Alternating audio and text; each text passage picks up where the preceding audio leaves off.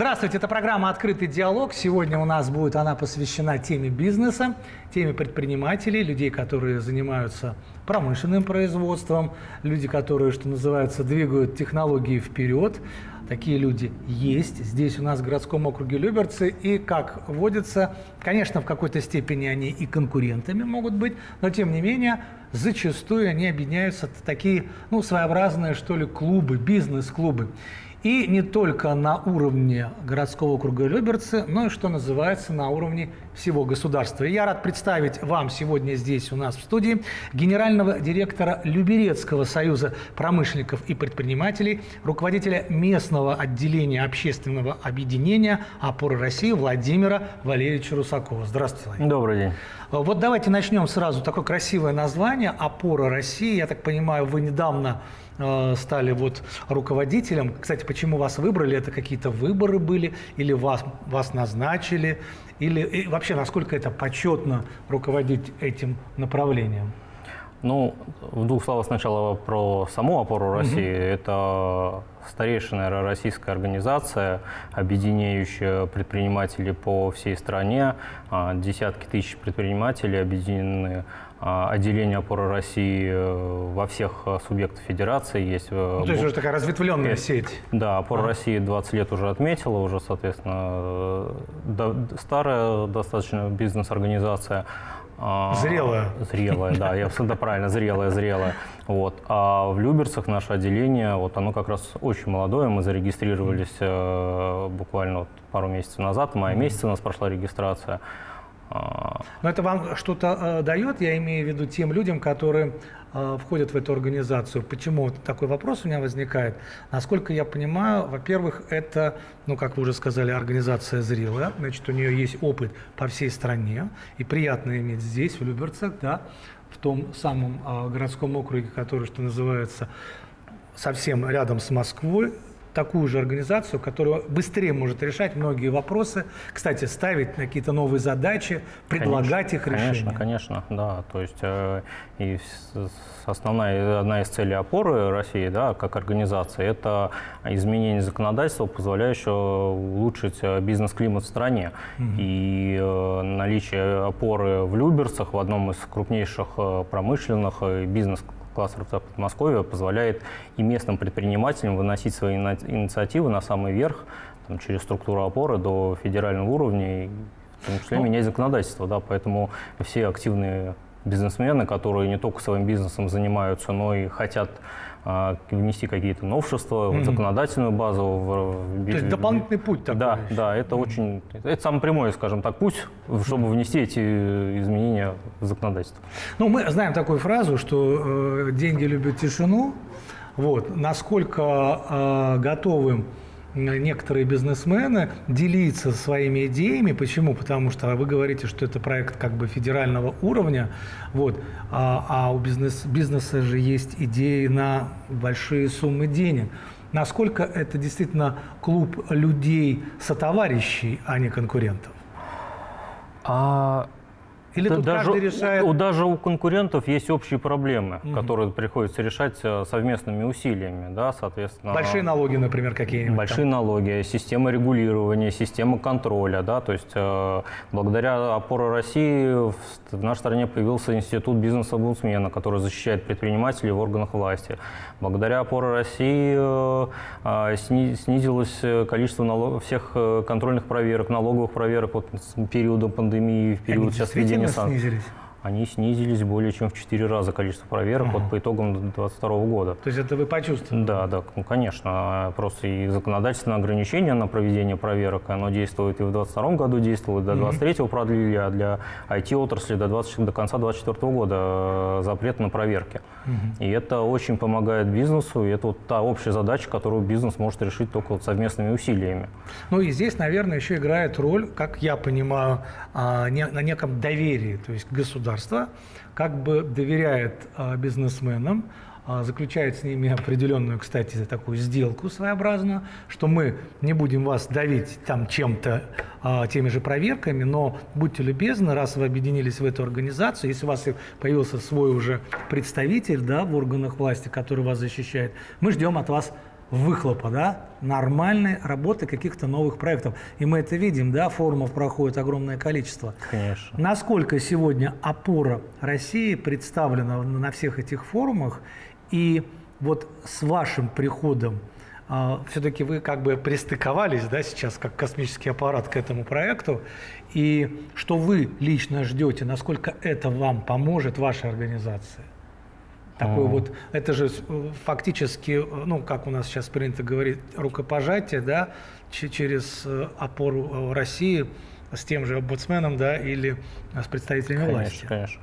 Ну, наверное, сейчас без представителей опоры России не проходит ни один федеральный форум, да, mm-hmm. то есть э, представители есть на, на всех уровнях, а представители работают в комитетах Госдумы, соответственно, да, а в самой опоре порядка, наверное, 70 комитетов по различным направлениям, куда входят в том числе и а, территориальные представители, да, то есть а, любой, по сути дела, активный член опоры, то, то, то же самое Люберц, может войти в любой федеральный комитет, ну, через, соответственно, и региональный. на... И повлиять, и предложить, и, да, то есть высказать свои замечания к проектам, да, то есть это экспертное сообщество, то есть а, любой закон, который разрабатывается, он проходит в том числе экспертную оценку бизнес-сообщества, и в том числе через опору России. То есть любой э, член опоры России, получи, имея какое-то там экспертное свое мнение, свои знания, может написать свои замечания, они будут рассмотрены, они будут учтены, соответственно, mm. если они... То есть получается, что это и для Люберец хорошо, то есть Конечно, для, развития, да. что вот у нас есть такая организация, ну, представительная, да, которая на федеральном уровне, и даже любой Э, промышленник, промышленник э, значит, предприниматель, бизнесмен э, из городского круга Люберца может принять участие в какой-то комиссии Конечно. на федеральном Конечно. уровне, продвинуть не только свой бизнес и свой бренд, и свое имя как эксперта, но опять же Люберца. Что Абсолютно точно. У нас больше 20 тысяч зарегистрированных люберцев предпринимателей. И, наверное, среди них есть люди, у которых есть идеи, у которых есть знания, у которых есть желание. Угу менять что-то в стране. Хорошо. Еще такой вопрос. Это как-то оплачиваемая история? То есть вы платите какие-то членские взносы, ну типа профсоюзной организации или это как-то Членские взносы есть, есть, они да? минимальные абсолютно, то есть это ежегодный годовой взнос, там 10 тысяч рублей, mm-hmm. но это вот на организационные, на решение организационных моментов каких, да, то есть, то есть mm-hmm. можно сказать, бесплатно, да, и, и сама организация, она не ведет э, коммерческой деятельности, то есть ее то задача... ничего не производит. Ничего не производит, да, ничего не продает, услуги даже там юридической консультации, если внутри сообщества оказываются, они все... Ну вот э, тут тоже такой интересный вопрос. Мы знаем, что люберцы богаты самыми разными направлениями, и культурными, и творческими, и спортивными, и, конечно же, бизнесмены. Многие бизнесмены, они имеют бизнесы в Люберцах, и далеко за его пределами, опять Абсолютно же, Москва точно. рядом и так далее.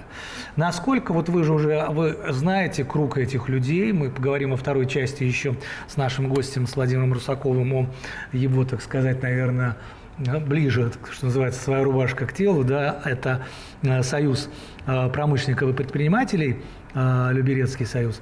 И вы их знаете, этих людей. Насколько Конечно. они довольны, что опора России появилась, и а, они как идут, подают какие-то документы, хотят участвовать в этом федеральном проекте? А, но Союз промышленников, он объединяет крупнейших предприниматель Люберец. А опора России Всех. больше рассчитана на мелкий и средний а, бизнес. На да, на мелкий и а. средний бизнес.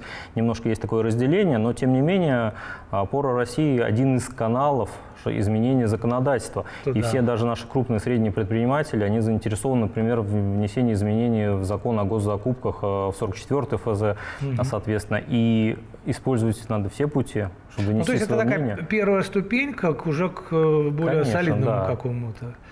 Ну и, э, честно говоря, я понимаю, что когда люди работают в одиночку, да, тем более у нас юридическая база, я тут читал недавно российскую газету, она у нас является главным рупором э, принятия всех законов. Угу. Там, например, э, дополнение к закону о правилах дорожного движения, э, они там на трех или на четырех разворотах. Угу. То есть для того, чтобы заставить себя как гражданина, да, прочесть и, внимание, понять, о чем там идет речь, потому что есть даже такая позиция, как толкование закона, да, как прокурор толкует, как адвокат толкует и так и главное, далее. как суд толкует. Да, и, и главное, как люди толкуют это. Вот, так вот, э, эта газета говорит о том, что э, у нас люди юридически э, не очень подкованы, а для бизнесмена, который один шаг влево, шаг вправо, да, и можно попасть в неприятности, это, очень важно. Конечно. Поэтому такая организация еще помогает, вы говорите, как консультационный такой небольшой совет, и как э, лестница вот в, в продвижении вверх. Ну да, в, в отличие от крупных предпринимателей, предприниматель мелкий не может содержать э, штат юристов, не всегда ему даже юридическое сопровождение по карману mm-hmm. на аутсорс отдавать. А, но опора России там, включает там, наверное, десятки юристов, и в Люберсах в том числе есть юристы, которые готовы, там, по крайней мере, первичную консультацию mm-hmm. дать, да, то есть, э, и это все на безвозмездной основе, и можно получить э, базовые какие-то сведения, э, понять, в принципе, нарушаешь, не нарушаешь. Плюс опора России это и, по сути, образовательный процесс, ну, да. проект, да, то есть и все вот эти изменения в законодательстве можно прочитать там три листа, Угу. А можно посмотреть удобную инфографику, которая покажет основные нарушения, основные наказания, основ... как избежать этого. А, в такой, то, что сейчас э, принято, доступно э, и приятно, и легко читать. Да, и дальше, если у тебя какой-то вопрос уже затронул, тогда уже ты конкретный вопрос можешь уже почитать и закон ну, и да. резюмируя, да. то есть опора России – это действительно опора, вы на нее опираетесь, и а, посмотрим, как будет этот проект работать именно вот в люберецкой версии потому что вы еще молоды, да? Да, да, да, да, мы только начинаем. Я надеюсь, мы там осенью готовим большой проект форум, когда пригласим предпринимателей Люберец, чтобы mm-hmm. более познакомиться, соответственно, с деятельностью опоры России, проведем несколько там сессий образовательных. Mm-hmm, и я надеюсь, что и к нам в Люберцах мы будем вас пригласим. И, и к нам тоже приглашайте в гости наших бизнесменов, потому что нам интересно какие у них мысли по поводу ну, 400 лет городской, надо оставлять о себе след в истории, конечно, правильно? Конечно. Спасибо огромное. Конечно. Сейчас мы делаем небольшую паузу, а вот во второй части Владимир Валерьевич расскажет нам о том, что такое союз промышленников и предпринимателей. Именно его люберецкая версия. Дождитесь. Напомню, что это программа «Открытый диалог». У нас в гостях сегодня генеральный директор Люберецкого союза промышленников и предпринимателей, руководитель местного отделения общественного объединения «Опора России» Владимир Русаков. Об опоре России мы поговорили. Мы на нее, естественно, опираемся. Я понимаю, что теперь вам легче. То есть еще дополнительная опора появилась в вашей работе.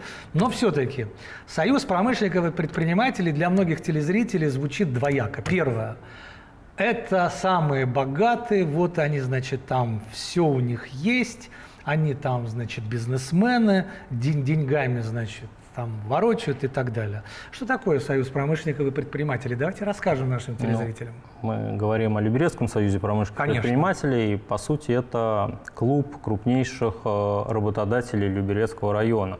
То есть э, в первую речь, очередь речь идет не о богатстве, богатство может там разными путями получить, да, а вот э, обеспечить работой десятки тысяч людей платить в Люберцах, зарплату. да, платить зарплату, вовремя платить зарплату, а развивать российскую промышленность, вот, вот таких людей объединяет наш союз. Но тут тоже двоякий такой может быть вопрос. С одной стороны, если действительно предприятие замечательное, хорошо выстроенное, современное, с хорошим бизнес-планом, а, хороший руководитель, который в принципе уже может на дачу ловить рыбу, потому что у него все работают и все устроено, много рабочих мест, это хорошо. Но если а, предприниматель пытается якобы создавать рабочие места, ну, не настоящие, что называется, и позиционирует себя как промышленник, и государство ему доверяет, да, то здесь уже возникают вопросы. Я к чему веду? И в чем провокация в моем вопросе? А когда люди объединяются в клуб, это всегда здорово. Насколько этот клуб полезен, а, тем, кто в нем объединяется, но если у меня свой завод, зачем мне все остальные? Я себе тихонечко работаю и извлекаю прибыль. Это первое. И второе, какова польза, кроме рабочих мест, городу, а, людям, которые здесь живут и которые, может быть, не работают на предприятии этого бизнесмена. Такой всеобъемлющий получился. Да, да, да, да, да, да. Маленький отчет. Ну, во-первых, начну, наверное, со второй части вопроса, да, то есть э, люди, которые работают на предприятиях люберецких платят налоги, которые поступают в люберецкий бюджет в том числе. И, соответственно, на эти налоги ремонтируется город, обустраивается город, поэтому э, любое предприятие, работающее в городском округе Люберца, оно так или иначе влияет и на тех людей, которые не работают, но живут в Люберцах. Да? Вот. То есть Плюс, как бы им тоже да, это выгодно. Да, а если умножить там, на, условно на три каждого работающего на предприятии нашего союза, да, угу. то есть это жена или, допустим, муж, супруг, да, да, да. либо ребенок один, допустим, да, то есть а, количество людей, которые получают увеличивается, увелич... да, да, да, да, то есть это гораздо больше, да, то есть это уже десятки тысяч людей, которые в Люберцах э, живут, и в том числе благодаря этим предприятиям, благодаря этим предпринимателям, которые организовали. И я хочу сказать, что люберецкий бизнес, промышленный, ценится по всей России, mm-hmm. и это крупнейшие предприятия, которые известны и в России, и за рубежом. И у них история, так скажем, и у них, далек, да, далекая еще да, с тех да, времен, да, когда, и... когда что-то было закрыто, да. о чем-то нельзя было говорить. Ну а вот самим э, бизнесменам почему интересно, э, э почему интересен этот клуб и кто в этом клубе? А, смотрите, вот из даже людей, которые входят в наш союз, из тех предпринимателей, э, я не знаю ни одного, как вы сказали, который заработал денег и сейчас не работает, сидит, получает там на, на лаврах и там ну, смотрит иногда отчетики и считает прибыль, да? Mm-hmm. Это все не просто основатели своих заводов, это реальные действующие директора, которые глубоко погружены в процесс mm-hmm. своего производства. А если человек погружен в процесс, ему Конечно. интересно общение с подобными же людьми, и, и там, несмотря на то, что там среди них нет конкурентов, у всех, э, как правило, разные отрасли, но какие-то фишки, какие-то технологии да. можно всегда посмотреть. То у кого-то как-то логистика выстроена получше, правильно, да, да. получше. У кого-то складские там, mm-hmm. ну, склады, у кого-то продажи выставлены по-другому. Mm-hmm. И мы сейчас собираемся именно обмен мнениями, как у кого что устроено. Мы устраиваем экскурсии к друг другу на заводы, мы ездим а, с, с, в другие города, а, знакомимся а, с предприятиями других городов, потому что ну, производство в большинстве случаев это конвейер. Конвейер э, кирпичи производишь, машины производишь. Все важно, да. да, он все равно есть какие-то тонкости, где можно подсмотреть. Да, э, система а, эффективного производства, как выстроена у кого на заводе. Это всегда интересно, всегда мне, мне мнением. Плюс а, кооперация. Там, производителю кофе интересно работать с производителем кухонного оборудования, mm-hmm. можно найти какие-то точки соприкосновения. Mm-hmm. Да, то есть э, производителю весов... То есть весь спектр, скажем так, возможных коллабораций да, а, бизнеса с, реализат... с реализаторскими Э, проектами, э, значит, улучшение менеджмента, да, поиск. И, наверное, там есть люди, которых э, пытаются перекупить к себе. Ну, это нормальный такой процесс, как, в общем-то, в любом бизнесе, если словом бизнес называть слово, русское слово «дело». И э, я так понимаю, что у вас это тоже клуб. Вы как собираетесь? Или он работает на постоянной основе? У вас есть какие-то собрания, встречи? Да. Чай пьете? Это клуб. Мы периодически, у нас есть там офис клуба, где мы собираемся. Mm-hmm. Если это не на выездное какое-то на предприятие, у нас есть офисное у Кирова. Вот, и мы с периодичностью раз в месяц, раз в два месяца, в зависимости от соответственно, загрузки, собираемся и устраиваем встречи. Вот у нас в этом году э, мы празднуем свое 20-летие. У нас 28 июля будет ровно 20 лет, как организовался Союз, mm. вот, который начинался с 8 предприятий. Сейчас у нас 24 крупных предприятия города объединены. Вот, потихонечку расширяемся, но я говорю, это клуб, поэтому, а, чтобы туда попасть, это э, не каждый желающий, да, надо, mm-hmm. то есть это то, то доверие, которое надо заслужить, да, то есть, да, это надо, быть, надо быть, быть крупным, крупным работодателем э, и надо быть открытым mm-hmm. для общения. Ну, я так понимаю, тут еще очень важный момент, то, что я тоже а, уже говорил, все-таки мы а, понимаем, что люди, которые не умеют заниматься бизнесом, ну, не потому, что они условно плохие, да, но вот нет у них такого дара предпринимательства.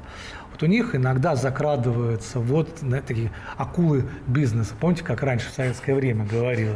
Вот, Империалистические акулы да, бизнеса. Ну, а сейчас э, наши собственные российские акулы бизнеса.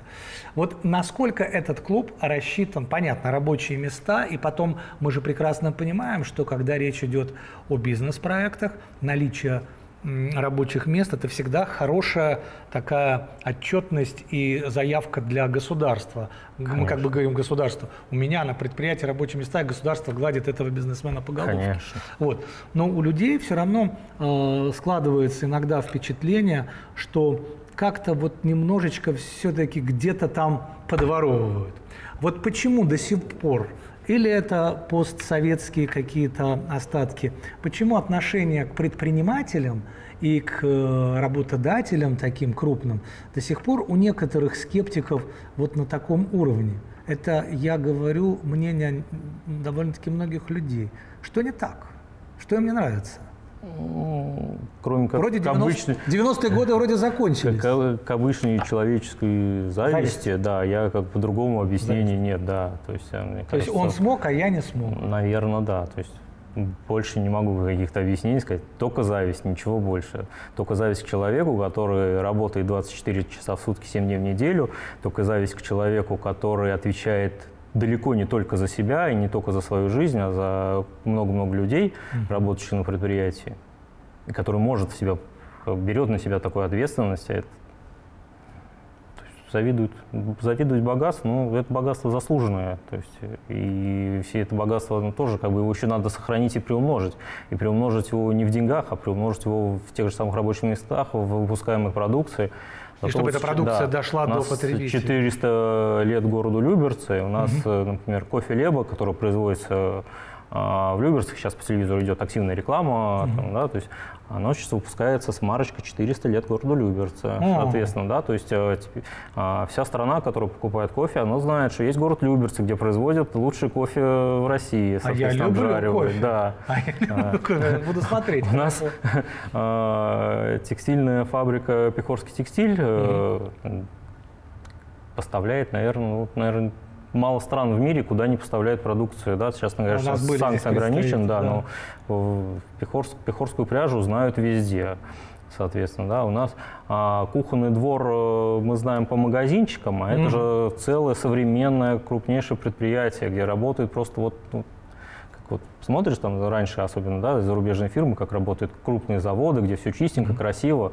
Зайдите на наш кухонный двор. Это просто Культура, произ... никакие... культура производства, да. она... И не нужны никакие известные шведские производители. Конечно, да? конечно. Хорошо. Да. А, ну, я а, хотел еще такой вопрос адресовать. Все-таки 20 лет, я такой юноша уже, да, уже, что называется, можно жениться как минимум. А, в июле вы будете отмечать. Но существует у нас и э, всероссийский, да, Российский союз промышленников и предпринимателей. Конечно, да, да, да. Вы к нему имеете отношение или это немножко другая структура? Ну, по сути, все-таки немножко нет такой, как в опоре прямой, ага. вот, но тем не менее и наши члены нашего союза являются и членами а, и федера, федерального союза промышленников, да, то есть у нас а, руководитель, президент компании «Асептика», например, входит э, в федеральный орган управления. Ну, да, у нас э, несколько наших э, членов нашего союза являются а, членами правления областного союза промышленных предпринимателей. Там, соответственно, у нас пять человек у нас является, то есть а, чуть ли не самое большое представительство в Московской области, это представители люберецкого бизнеса. Ну, поэтому, уважаемые телезрители, не завидуйте, а наоборот радуйтесь. И, кстати, вот э, когда я много езжу по городам, и мне всегда, не знаю почему, а приятно видеть, неважно, какой-то там лимонад, печенье, я не знаю, там э, какие-нибудь картинки или еще что-то, или э, производство мяса и так далее местных, да, прямо вот написано, это наш. И, как правило, огромный магазин ритейл, да, огромный, вот, как в любом городе одинаково, и маленькая-маленькая такая стоечка, товары нашего города. Причем это город может быть миллионник. Угу. Вот когда мы увидим, э, не только в Люберцах, тут уже вопрос к вам как к профессионалу, потому что, я так понимаю, ну, раз и опоры России, и союзы промышленников работают, э, когда в местных, на местных уровнях появятся, и эти полочки будут расширяться. Ведь производить свой продукт, да, а, и, кстати, об этом говорит и президент, и представитель правительства. Я даже, обратите внимание, слово «санкции» здесь не употребляю. Это же интересно, и знать, что вот в Люберцах есть, например, такой кофе, да, И такого кофе нигде нет, кроме Люберец, грубо говоря. Да? Вот как? Кофе? Не, ну это очень, на самом деле, важно с точки зрения и пропаганды э, внутреннего бизнеса, да, ты как говоришь, чтобы не было зависти, а была гордость за свой Вот, город, да. да. Да, Что это и- наше, что я хочу это, Люберецкое Да, купить. и тут э, ну, два решения вопроса. Ну, во-первых, э, понятно, что у нас сейчас э, основные торговые точки – это федеральные сети. М, Вот, и, скорее всего, полочку в этих сетях можно будет сделать, когда у нас на законодательном уровне, то, что сейчас об- обсуждается инициатива, а, ввели, скажем так, долю полочек для местных предпринимателей. Вот, я думаю, как только вот это будет принят этот закон, э, Полочки полочки, ну, во-первых, появятся, во-вторых, заполняются, а в-третьих, э, а, торговые сети поймут, что торговать местной продукцией тоже выгодно. Да, то есть, ну, может быть, Понятно. Хорошо. Ну, как вы понимаете, за такую короткую программу очень много вопросов и к бизнесу, и к предпринимателям, потому что промышленник, предприниматель немножко, да, разные тоже направления. Осенью у нас 400 лет городскому округу Люберцы. Отметим. Вот. Вы отметите 20-летие скоро. И давайте осенью приходите к нам и об опоре России расскажете, как идут, какими шагами строятся эти опоры. Вот. И о, о новостях уже непосредственно Люберецкого союза промышленников и предпринимателей. Спасибо, что пришли. Вам спасибо, что пригласили. Да, вопросы были разные, но ясно одно, что в городском округе Люберцы работают промышленные предприятия, это радует, есть рабочие места, платятся налоги, а раз есть Люберецкий союз промышленников и предпринимателей, то есть надежда на то, что он будет еще расширяться, этот клуб будет расти. Конечно. В студии у нас был генеральный директор этого союза Люберецкого, руководитель местного отделения общественного объединения «Опора России» Владимир Русаков. Всего доброго. Это была программа «Открытый диалог». С вами был Николай Пивненко. До свидания.